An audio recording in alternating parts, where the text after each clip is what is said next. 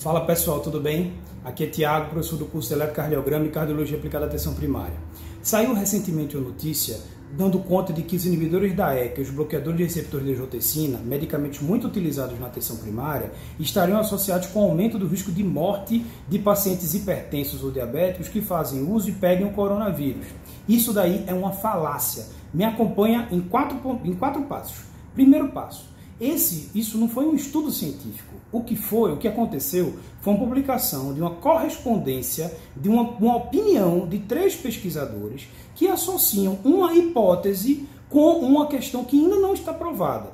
Isso é a primeira coisa, não foi um artigo científico, foi uma correspondência. Segundo ponto, qual é, qual é a hipótese? A hipótese é que há uma upregulation, ou seja, uma expressão maior dos receptores ACE2 nos pacientes que fazem uso de ECA, BRA e inclusive ibuprofeno. Mas não vamos tratar do ibuprofeno aqui.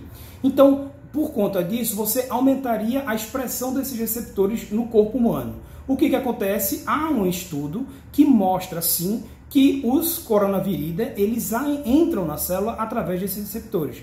Porém, a hipótese ela continua sendo uma hipótese. Não há nada provado de que de fato esses medicamentos façam essa APA regulation.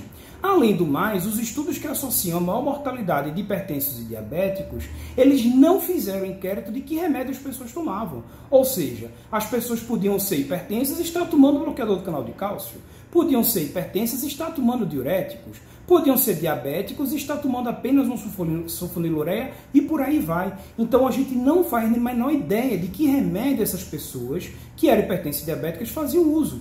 Então não pode associar com a esses medicamentos. Isso daí é um equívoco científico dos mais severos.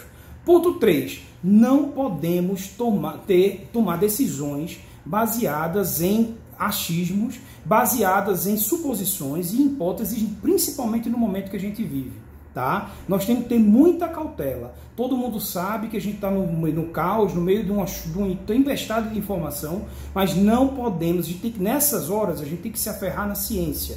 E é na ciência, no mínimo de pensamento científico, a gente tem que preservar nesses momentos. Então, não, não vamos suspender e BRA. E aí eu vou para o quarto ponto. Se o seu paciente chegar para você na atenção primária e se mostrar muito preocupado com isso, você vai exercer o que a gente tem que exercer na medicina de família, a decisão compartilhada. Você pode avaliar com esse paciente a possibilidade ou não de tirar esse medicamento, a depender da escolha do paciente, da sua escolha junto com o paciente e de uma decisão do, da, da relação médico-paciente, e não por conta de uma fake news que está sendo propagada.